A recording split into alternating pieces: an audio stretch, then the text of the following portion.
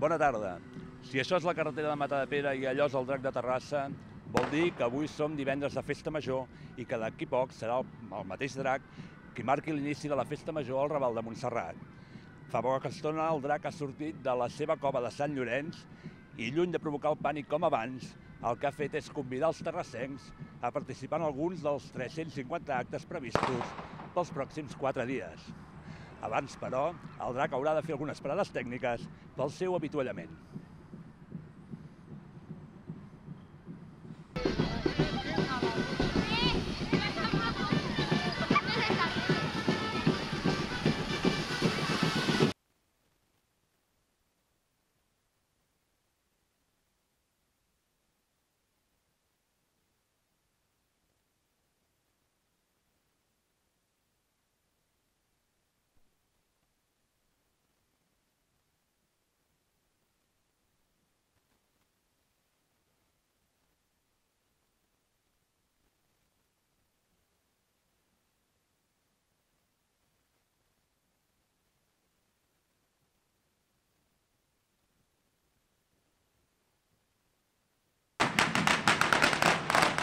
La història del drac es remunta a l'any 1981, quan un grup de persones de la ciutat va recuperar aquesta figura de la del drac de Terrassa.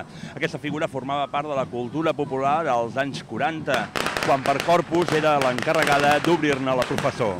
Amb la Guerra Civil es va perdre aquesta i altres costums i tradicions que al llarg dels anys 70 s'han anat recuperant. Jordi Grau va ser l'encarregat de crear aquesta figura que ara ja fa 34 anys que surt ininterrompudament per la Festa Major de Terrassa.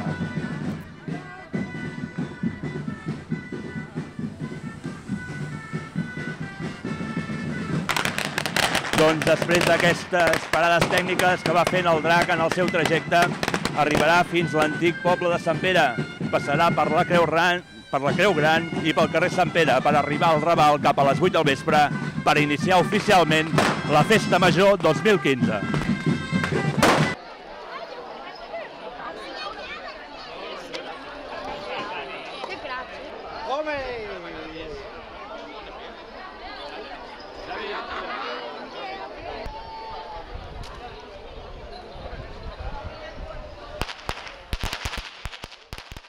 Doncs per parlar de com ha anat aquesta baixada del drac 2015 tenim amb nosaltres el cap de colla de la colla del drac de Terrassa, en Dani Salazar. Bona tarda. Bona tarda. Com ha anat avui? Molt bé, molt bé, com cada any. El drac porta 34 anys baixant de la seva quadra de Sant Llorenç i com cada any perfecte. Més bars ens donen una miqueta de refrigeri, penseu que la cova està molt lluny i això ens va a nosaltres molt bé. Això com va? El drac surt de la cova, vosaltres el aneu a buscar, com va? Es desperta la fera, fa un crit i anem a buscar la colla.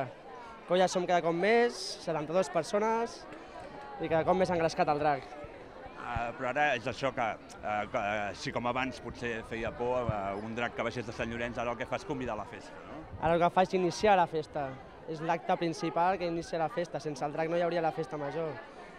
I això que, inici, que el drac sigui el que inicia la festa és molta responsabilitat, uh, no? Com ho veus? Déu-n'hi-do, déu nhi déu Pensa que tenim un horari, a les 8 comença la festa major, a les 8 està el drac a l'Ajuntament, per tant, sí, una miqueta de...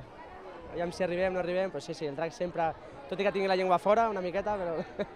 Aleshores, aquestes parades tècniques que feu estan calculades, no? Estan calculades, penseu que com està molt amunt, el drac té de baixar molt, i si no parem no arribem. Uh, el drac és de l'any 81, que el va fer el Jordi Grau. Uh, com és aquest drac? Com, com, com us costa molt portar-lo? Uh, quants relleus feu? Una mica com ho feu per baixar? Eh, el drac és, eh, o sigui, penseu que el drac es va fer per portar dues persones. El primer cop que es va portar, que va ser la primera baixada del drac, es va veure que amb dues persones era inviable. Pesa, però era inviable pel moviment i tot. No és gaire llarg i llavors es porta una mica malament. I a partir des de la primera actuació ja es porta un. De portadors avui que portin el drac, Avui som 19, 19 persones que anem rellevant. Penseu que agafem 3 minuts o així cada tros, o sigui que... Déu-n'hi-do, molt bé, molt bé. I el drac petit on el tenim? El drac infantil ara sortirà, ara sortirà. Aquest any tenim un, un petit problema, la canalla nostra és molt petita i clar, des de dalt de tot no pot arribar, però ara des de l'entrada a de Terrassa ja agafa fins l'Ajuntament. Alguna novetat per aquest any? Novetat aquest any, bueno, el Raval, com sempre, just quan acabi de baixar la baixada ens prepararem per fer el Raval i com sempre és un dels actes també molt, molt importants de Terrassa. Molt bé, gràcies per atendre'ns i que tingueu bona festa major. Molt bé.